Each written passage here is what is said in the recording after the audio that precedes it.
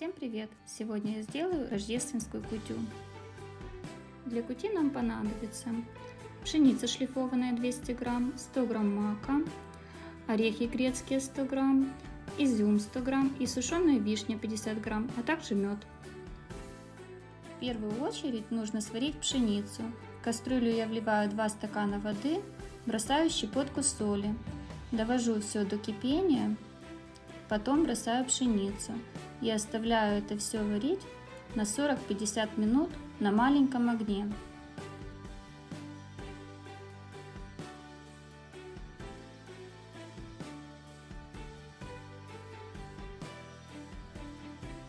Пока пшеница варится, я готовлю остальные ингредиенты. Мак необходимо залить кипятком и оставить набухнуть в течение 20-30 минут. Орехи нужно измельчить, только не совсем в крошку, а чтобы оставались небольшие кусочки.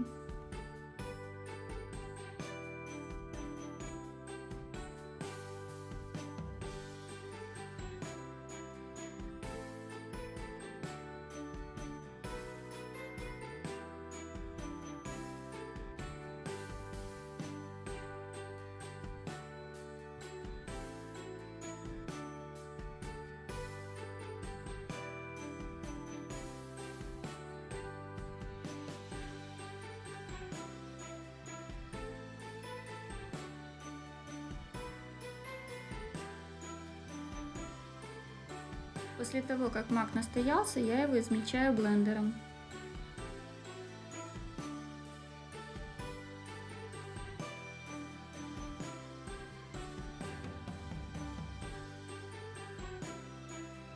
Пшеница уже сварилась. Я выключаю плиту и оставляю еще настояться 15 минут. Дальше я делаю заправку для кути. В стакан узвара я добавляю несколько ложек меда и растапливаю на небольшом огне. Можно, конечно, сделать на обычной воде, но с узваром намного вкуснее. Узвар я сварила из сухофруктов, из яблок и груш. Получается очень вкусно.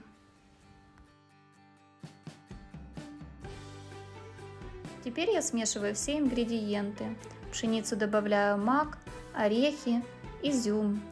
Также добавляю вишню и все это приправляю медовым сиропом из узвара.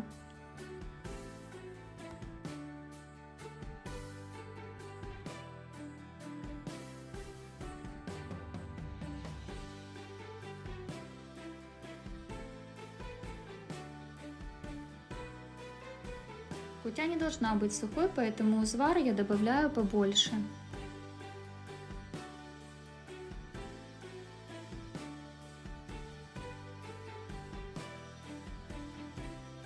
Потом необходимо все приправить медом. Если сладости недостаточно, добавляем меда по вкусу. Кутя получается очень вкусная и ароматная. Это главное блюдо на рождественском столе.